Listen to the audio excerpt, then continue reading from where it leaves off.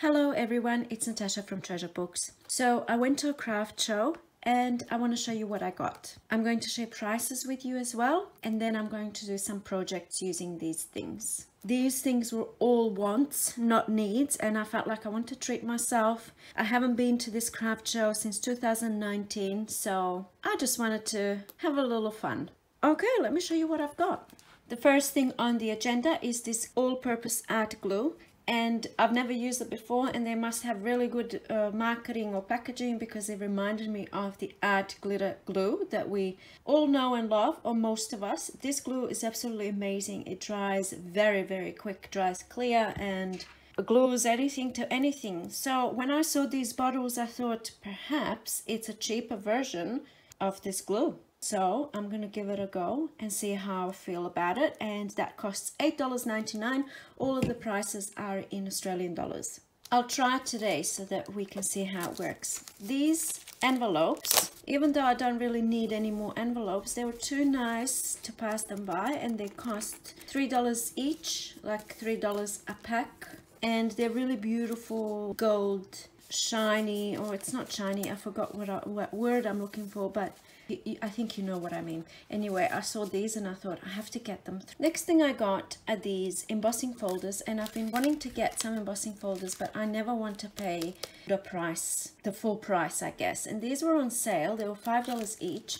And yes, they are like this is a Christmas one and this one this one is not a Christmas one, but that's good. So I don't plan to use this on Christmas only. I plan to use it today so we can see how it looks when it embosses some cardstock and I'm going to use this all year round. It really doesn't bother me that it says Christmas on it. It doesn't have any Christmassy recognizable features I guess. And then this one, this looks really quite nice. And straight away I'm thinking for this size, if you've seen my video on napkin decoupage I did just recently, just use some uh, napkins on, on file folder and, you know, decoupage on top. I wonder if this is to fit in there. It's not perfect size, but I could still, perfect, I could emboss that. It's to make it look even nicer. I think that's to look good. I'm to have to give it a try. I'm, just looking at the packaging now. I've never tried this technique where you emboss and then paint over the top and then maybe sand those raised areas. That's something I'm really to have to try. Might try today if I have time. Okay, I've been dying to get this thing out, so out it comes. I'll tell you how much this thing cost in a moment, but I just want to show you what it is. All of these images that you see are die cuts that I can very easily just is it very easily it is it's quite easily I can just get it out of there and use it on my project now these images are most definitely the type of images that I have never used before. I don't know what you would call this particular type of art. It's very quirky and, and eclectic and I'm drawn to it but I've never used these colors in my journals or in my projects but they're just so amazing and these are still all punch outs and that really is mainly what drew me to it and of course all of these beautiful images you get two of the same. Pretty cool. Just having like one of these images on a project will brighten it up so much. And there's so many pages. And then when we get towards the end these are still they're all all of these ones i'm showing they're all die cuts of punch out shapes. Look at this art supplies. Oh Look, scissors. Oh, wow, look at these houses. That's like very similar to that video I did recently on using up paper scraps to make art houses. I'll link the video down below. So I did spend quite a bit of time thinking if I should get this book and I'll tell you why in a moment. So at the back over here, these last few pages, I think perhaps it's about 10 pages, they are just pages like these that you can, you know, art journal pages that you can cut up. Oh, I did that in the past as well. Paint swatches and, uh, you know, look at this absolutely beautiful so this book it's mainly those die cut shapes and then these last few pages perhaps about 10 pages are these types of pages And the reason it took me quite a long time to decide if I wanted to buy this book is because of the price. I thought, can I justify paying $38 for something that I don't really need, but I want really, really badly? And I decided, yes, it's definitely worth it. And there's a whole lot of images in here that I, I will definitely be using for the next three years, probably. And I've never actually heard of this brand before. I mean, I don't go out and buy a lot of things, as you know, but Art by Marlene, I'm not sure if it's been around for a while and I've just been unaware but there we have it. I really like really like this purchase. Next thing I got after this many years that I've been crafting is a tear ruler. Even though I made my own and I've been using this one for years and I show you how to make this ruler in my video frequently asked questions because people have asked me how to make their tear rulers. So anyway I have one but once again like I said a want not a need. And when I saw this and it cost ten dollars it's not cheap. Like it's not you know if it was two dollars it would be cheap. Uh, but I I bought it maybe a tiny little bit of regret but not too much. Let's see how it looks. I like it. Let's see how it's different to my handmade one. There we go. Not much difference. So maybe a little bit more regret I feel now. This is the purchased one and this is the handmade one. I can't really see much difference. So I'm just going to try this side as well and see if that makes any difference. Oh yeah, okay. Uh, it's not too bad. Okay, perhaps I'm feeling a little bit of regret at buying this ruler, but not a lot. No, I'm, I'm happy that I bought it. I've wanted it for years. I'm talking like seven years, and I never wanted to spend the money on something that I can make myself. And finally, I went ahead and bought it, and I'm not gonna, gonna regret it. Okay, next thing I got are these. It's called a four pillar ribbon frame and it's actually a bow maker. I only bought it because it really isn't expensive at all. This is a little tool that you can very easily make at home and I was planning to make one at home. I just never got around to it and I keep wanting to do it and I never got around to it and when I saw this for $5 I decided to grab it. I'm going to try this out in the video today next thing I got is, you know, I'm just gonna go through this real quick. It's these inks that I kind of used to death really until they can't be used no more. And the ones that I have currently, I don't even remember how old they are. And they barely have any ink in them. You can't even see the top of it anymore. And it really was time to replenish. So I got this Distress Oxide ink. I don't know what this one is going to be like. Ground Espresso. And then in this StazOn brand, I got the brown and I use mostly brown in my projects. I mean, when I'm inking the edges of pages, I always go for brown. So I got this one. Now these two here, these are really, really good inks. I find anyway, and I got two. I got this watering can gray color and a black color.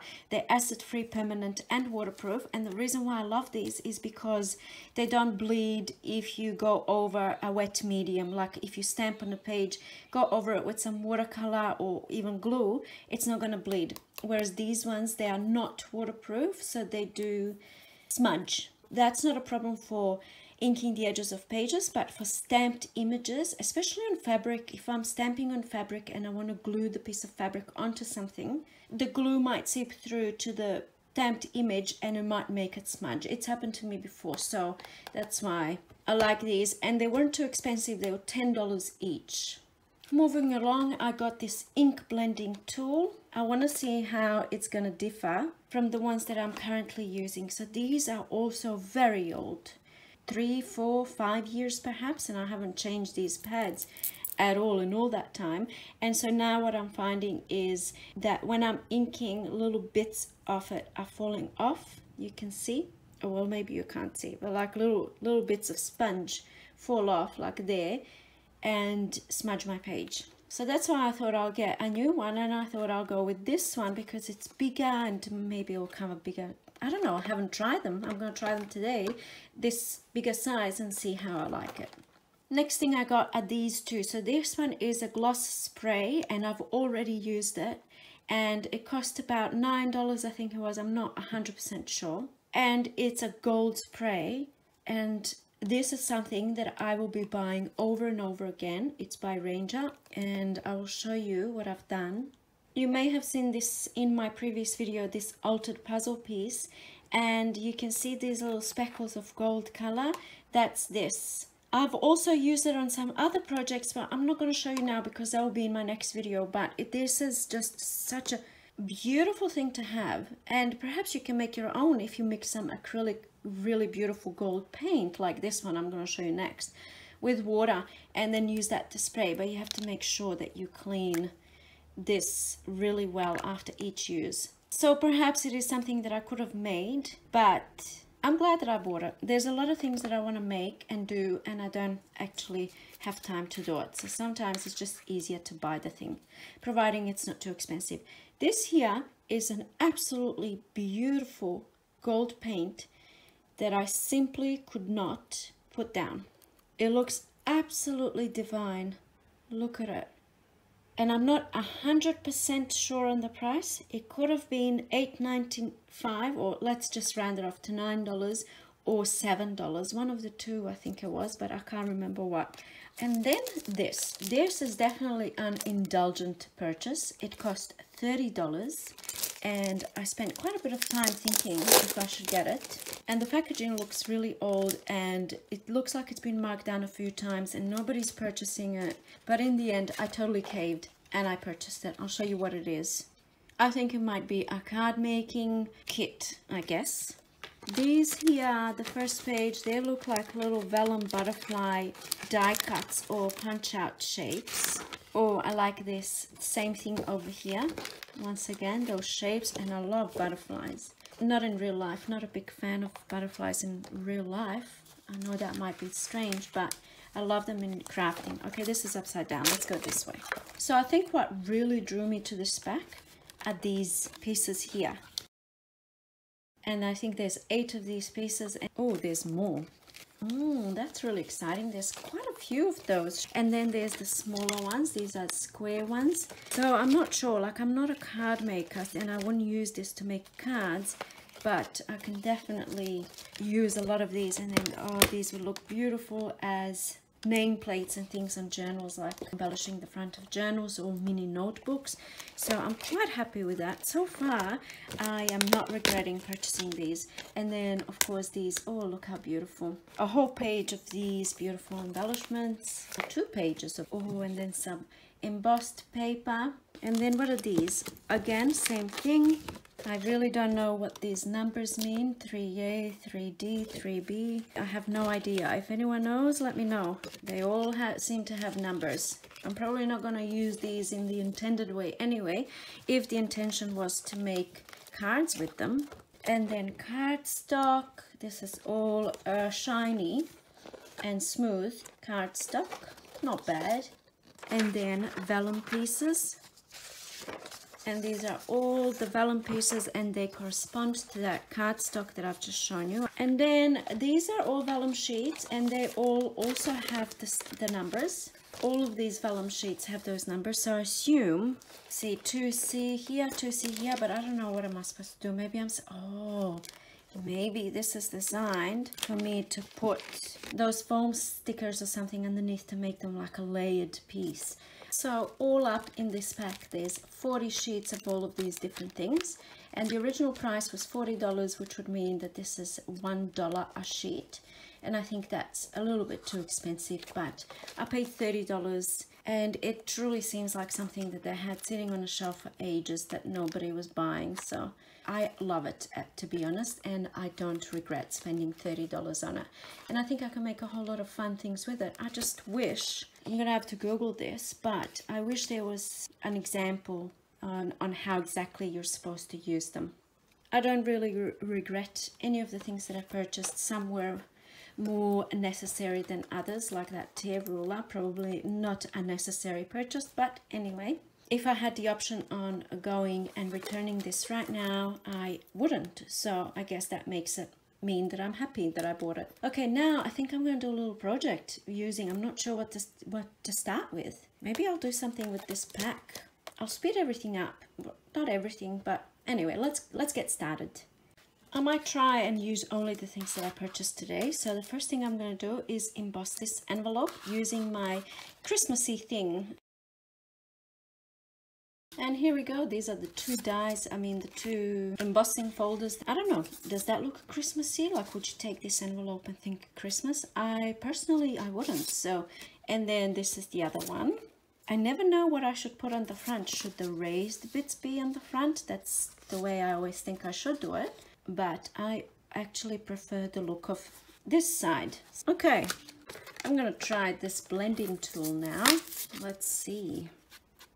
The inking process definitely seems quicker with this. I don't know if it's because the ink is really good or as in I don't have to keep doing this to get more ink on there or is it because this sponge is bigger and better? I'm not sure.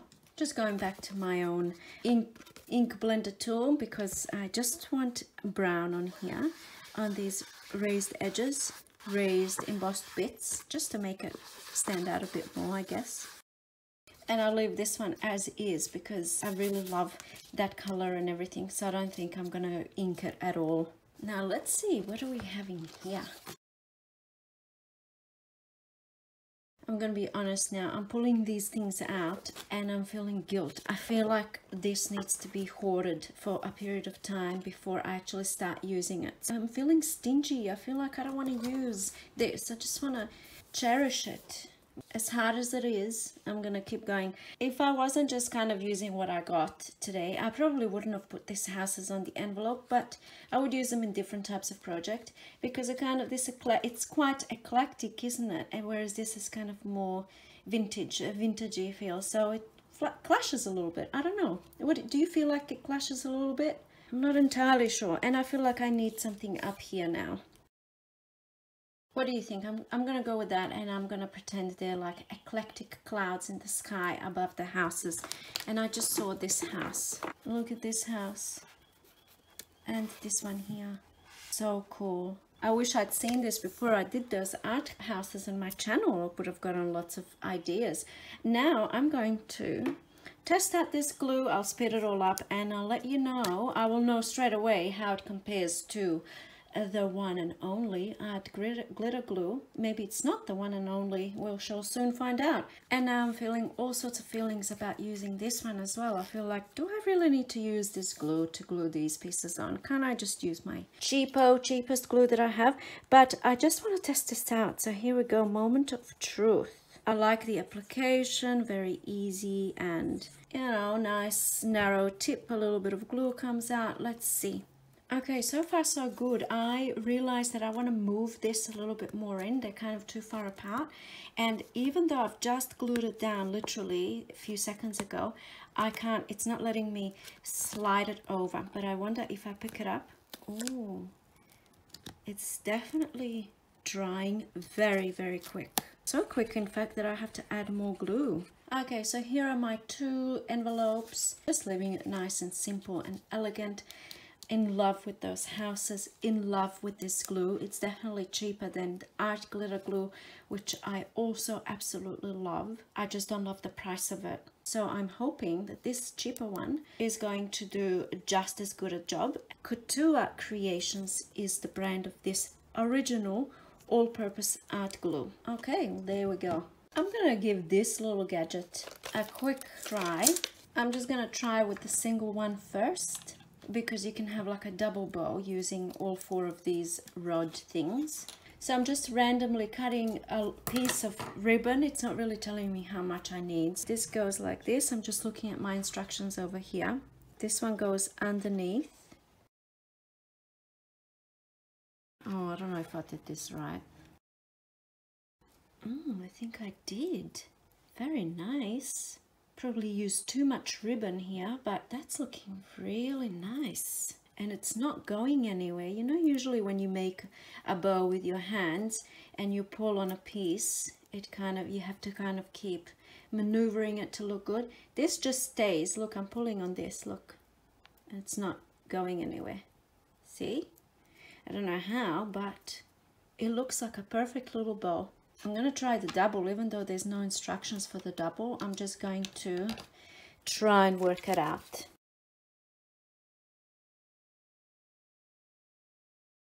All right, I will definitely have to see a tutorial on making the double bow because this didn't quite go as well as, you know, it's not looking perfect. So I definitely went wrong somewhere, but it's looking much better than anything that I could make just with my fingers. So this was definitely worth the five dollars that I paid paid 100% and the best thing is you really can make this at home. But if you have been planning to do it for years and never gotten around to it like I have perhaps it's time to buy what's it called? The four pillar ribbon frame from oh again couture creations. Same brand as this. And i'm not these i'm not promoting anything here. I, I paid for all of this myself. And i've never even heard of that brand before. So there you go. I think I'm gonna do a quick little project with this. And I'm gonna try and work out how it's supposed to be used and come up with a little something and show you what I've done.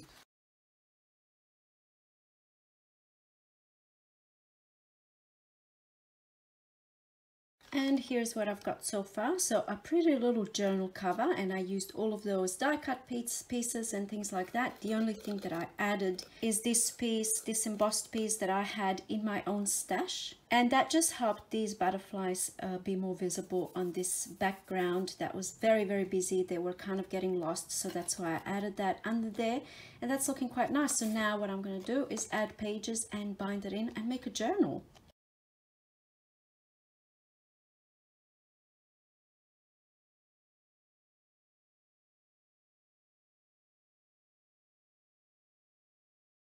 I'm just doing a three hole pamphlet stitch and using embroidery floss to bind.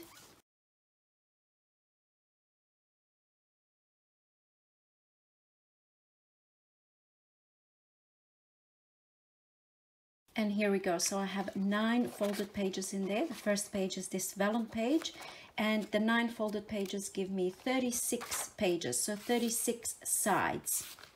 And now all that's left to do is a little bit of embellishing on the inside of the journal.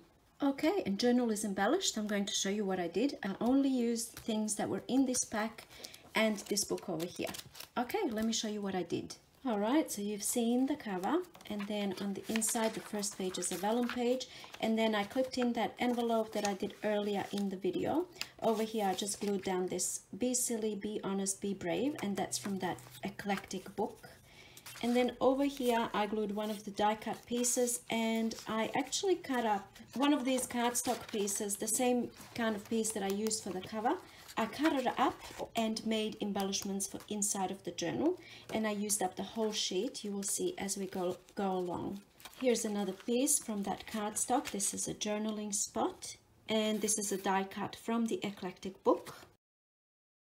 Over here I used this gloss spray, glossy acrylic spray. It most definitely looks much better on dark paper or black paper rather than tea-dyed paper, but you can still see that gold speckle kind of effect on the page.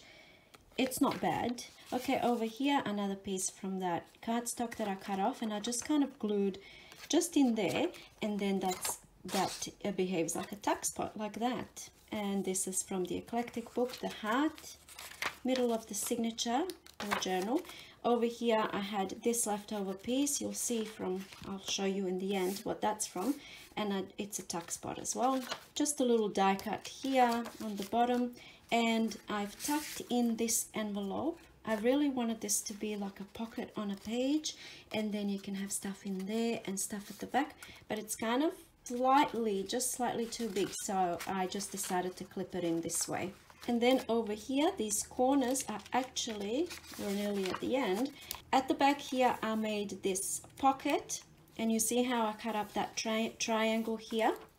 That's where the triangle lives now. So I'm not, uh, I actually used up the whole sheet. And the only things that are left over are these two pieces. And I, I can use them as well. And then in that pocket is this large tag. And then these corners that are cut off from that piece of cardstock is what I glued here to embellish this page. So really quite minimal embellishing. There's a kind of a theme throughout. We're using the same type of thing.